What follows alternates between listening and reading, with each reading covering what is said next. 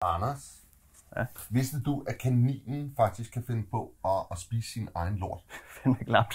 Ja, ja men det kan den altså godt. Hvis du, der findes en bille i Danmark, der tæver sine fjender i hovedet med sin egen lort. Okay. Det er en skjoldbille. Nå. Men ved, vidste du så, at cappucciner-aben faktisk bruger, øh, bruger tis som parfume? Det gør den. Nej, men øh, vidste du, at kronhjorten, den, øh, den tisser i et mudderhul, og så ruller den sig i det bagefter, for at lukke lækker. Hvis du, øh, er elefanten, ikke? den kan faktisk finde på at tage sin snabel og stikke ind i bagenden af en anden elefant og grave lort ud, som den så spiser. Det kan den. Det gør den. Det indeholder næring. Og hvis du er, er op til 13 procent af danske